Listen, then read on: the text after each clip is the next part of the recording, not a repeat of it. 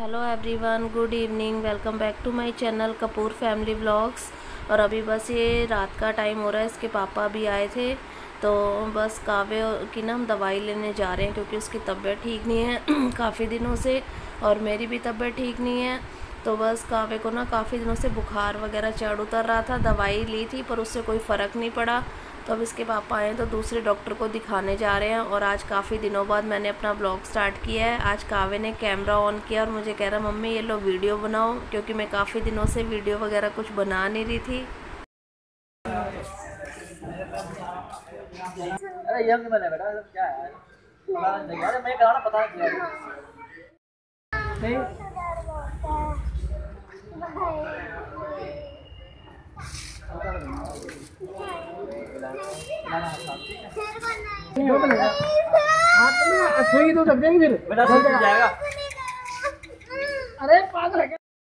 और अभी बस डॉक्टर के पास आए थे तो कावे का टेस्ट उन्होंने बोला था ब्लड टेस्ट करने के लिए। उन्होंने कहा, एक बार टाइफाइड का टेस्ट वगैरह करा लेते हैं।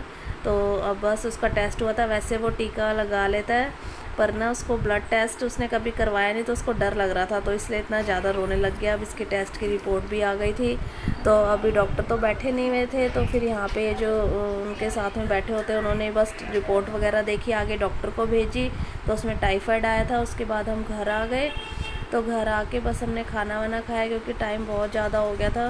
तो उसके बाद ये जो कपड़े मैंने अलमारी में से निकाले हुए थे अपने, इसके पापा बस रख रहे थे इसमें, कपड़े वगैरह पैक कर रहे थे। और हम लोग यहाँ से बस शिफ्ट कर रहे हैं तो इसलिए थोड़ी पैकिंग वगैरह चल रही है। याना को बुआ के घर छोड़ा हुआ है, वो यहाँ होती है तो तंग करती है बहुत ज़्यादा। और यहाँ मैंने याना की जो अलमारी है, उसमें से भी कपड़े निकाल लिए थे और यहाँ मैं काव्य की ना बुक्स वगैरह सही करके रख रही थी। क्योंकि अगर फिर बुक्स नहीं मिलती तो फिर दिक्कत हो जाती है। तो बुक्स वगैरह मैंने रख दी थी, अब इसके पापा बस अलमा, ये रसोई का जो सामान है, वो निकाला हुआ था, उसको पैक वैक कर रहे हैं, क्योंकि मेरे से तो ये सब होता नहीं है। बस मैंने रख दिया था, इसके पापा पैक कर रहे थे तो बहुत ज़्यादा दिक्कत हो जाती है शिफ्ट करने में। इतना सामान खिलरा पड़ा था, बहुत ही दिक्कत हो रही थी। देख देख के बड़ा अजीब सा लग रहा था, सारी जगह सामान ही सामान, ऊपर से फिर कावे की भी तबीयत ख़राब हो गई, एकदम से बहुत ज़्यादा चक्कर पड़ गया था। तो बस यहाँ पे शिफ्ट सामान वगैरह पैक कर रहे हैं। तो अभी इसलिए फिर याना को बुआ के यहाँ पे छोड़ दिया था। वो होती है ना तो बहुत तंग करती है, बस उसके क्वेश्चंस लगे रहते हैं, कभी कुछ कभी कुछ पूछती है और यहाँ पे अभी बेड वगैरह खोल दिया है। बेड के अंदर से सामान निकालेंगे तो बेड में इतना सामान रहता है कि बस तो अब बेड में से सामान वगैरह निकाल रहे हैं। और अब ये नेक्स्ट डे मॉर्निंग की वीडियो है। क्योंकि अभी रात को ही सारा सामान वगैरह निकाला हुआ था, पहले नीचे रखा था, फिर मैंने बेड पे रख दिया था और अभी दीदी का ना फ़ोन आया हुआ था, इसके पापा बात कर रहे थे और कावे की ना अभी पेपर भी स्टार्ट हो रखे हैं तो साथ साथ वो अपना ड्राइंग का पेपर दे रहा है और यहाँ पे देखो रात को दवाई लेके आए हुए थे कावे की दवाइयाँ रखी हुई हैं और सच में सारे घर में अंदर, बाहर सारी जगह सामान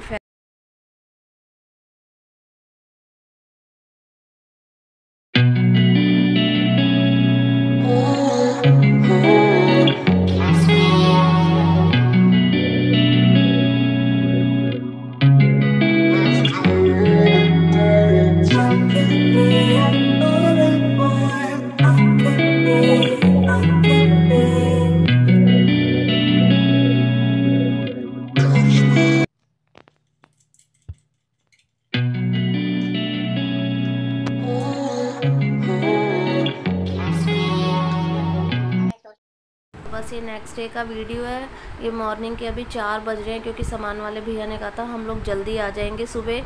तो अभी उन्होंने जो सारा सामान था वो नीचे ला के रख रहे थे, जो अभी पैक वैक किया हुआ था, वो सामान नीचे ले आए थे वो।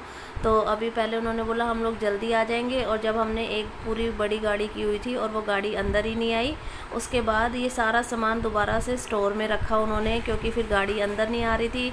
तो फिर उन्होंने बोला कि नौ दस बजे के करीब गाड़ी आएगी तो दो बार करके हमारा सामान जाएगा। क्योंकि सामान ज़्यादा था और अब ये सुबह के शायद नौ, साढ़े नौ बजे का टाइम है तो बेड वेड जा चुका था तो इसके पापा यहाँ पे वीडियो बना रहे थे। मैं इनको बोली थी कि थोड़ी सी ना वीडियो बना लो, क्योंकि जब कावे छोटा सा था, जब हम इस घर में आए थे, और याना तो हुई नहीं थी उस टाइम में तो बस वीडियो वगैरह बना रहे थे यहाँ पे और अभी ना कावे रोने भी लग गया था क्योंकि वो ऊपर सबसे मिल के आया था, मन मेरा भी नहीं था, पर ये ना बैक साइड का था। हम काफ़ी टाइम से शिफ्ट होने की सोच रहे थे तो इसलिए शिफ्ट तो हमने करना ही था और बस हम यहाँ पे पहुँच गए थे जहाँ अभी हमने शिफ्ट किया है, जहाँ पे तो अभी सामान वामान लाने में बहुत ज़्यादा दिक्कत हो गई थी, शाम हो गई थी क्योंकि दो बार करके सामान आया था और आधा सामान तो गीला भी हो गया था क्योंकि बारिश बहुत तेज़ हो गई थी। उन भैया ने सामान ढक भी दिया था, पर उसके बाद भी वो काफ़ी सामान हमारा गीला हो गया था। तो बहुत ज़्यादा दिक्कत थी, क्योंकि बारिश तो काफ़ी टाइम से आ ही रही है, डेली की आती है, और उस दिन बहुत ज़्यादा बारिश भी आ रही थी। तो बस मैं यहाँ पे सोफ़ा वगैरह सेट कर रही थी, और ये सारा सामान ना उन्होंने अभी इस रूम में ला के रख दिया था। तो समझ नहीं आ रही थी कि कहाँ से क्या शुरुआत होगी। बहुत सारा सामान था, ऐसा लग रहा था जैसे पता नहीं कैसे काम होगा।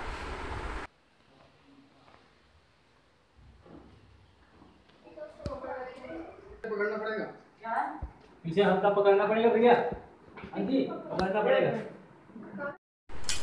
और ये अभी चार पाँच दिन का वीडियो है, क्योंकि मैंने थोड़ी थोड़ी वीडियो बनाई थी, कभी काव्य बना रहा था, कभी मैं बना रही थी, और यहाँ पे उस दिन बस सामान वगैरह शिफ्ट किया तो बहुत देर हो गई थी। टाइम भी ज़्यादा हो गया था और ये नेक्स्ट डे का वीडियो है और यहाँ पे बिजली वाले भैया आए हुए हैं और यहाँ पे भैया आए हुए हैं अर्बन कंपनी से बाथरूम क्लीन करने के लिए तो ये बाथरूम क्लीन करने के लिए आए हुए हैं। भैया, क्योंकि बाथरूम ना थोड़ा सा गंदा हो रखा था और मेरी हिम्मत भी नहीं थी साफ़ करने की तो इसके पापा ने फिर वहीं से फिर फ़ोन करके वहाँ से बुला लिया था इन भैया को। तो इन्होंने बहुत अच्छे से बाथरूम वगैरह क्लीन किया था और बाहर वाला टीवी भी लग गया था तो ये भैया अंदर वाला टीवी लगा रहे थे। क्योंकि फिर अगर टीवी वगैरह होता तो बच्चे आराम से बैठे रहते, ये आना तो अभी आए नहीं है।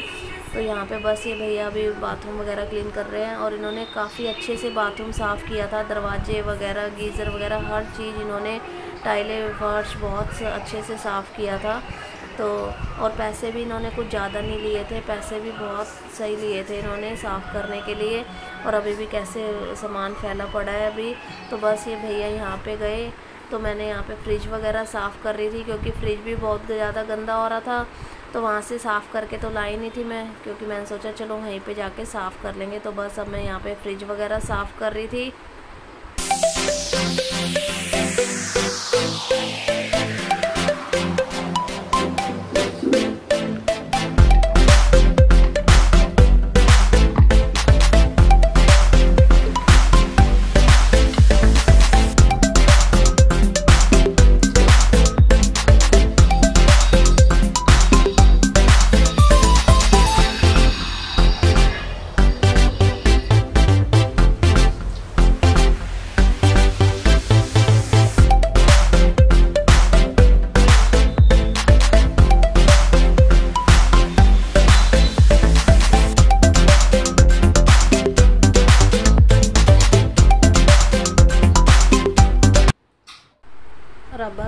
वगैरह साफ़ करने के बाद यहाँ से मैं यहाँ धो रही थी, दरवाजे वगैरह फर्श वगैरह सारा धो रही थी, क्योंकि यहाँ पे पानी जाने का था तो रास्ता तो मैंने कहा चलो धो ही लेती हूँ, क्योंकि आज शाम को फिर ईना ने भी आना था, उससे पहले मुझे अपना काम वाम ख़त्म करना था, थोड़ी बहुत सेटिंग तो हो गई थी, पर अभी सामान वगैरह थोड़ा सा ना अभी रखना बाकी रह गया था, मैंने कहा ये सब तो होता रहेगा, पहले फ़र्श वगैरह साफ़ कर लेती हूँ, क्योंकि फिर शाम को ईना आ जा, आएगी तो उसके बाद फिर इतना हो नहीं पाता वो आगे पीछे आगे पीछे बस लगी रहती है। तो यहाँ पे बस मैं सारा धो रही थी क्योंकि ये ना काफ़ी टाइम से बंद था और ये सामने गैलरी है और सामने उधर फ्लोर बन रहे हैं कोई तो बस मैं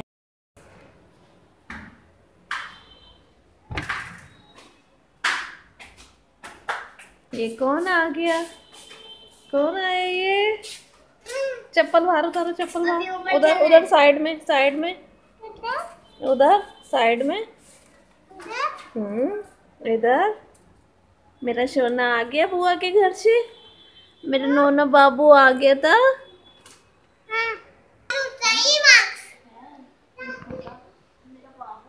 आज मम्मा से कितने दिनों बाद मिल रहा है ये?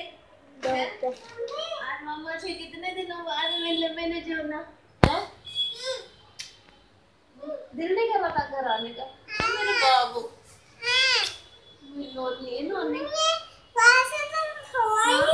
अभी बाबू भी करना है ना।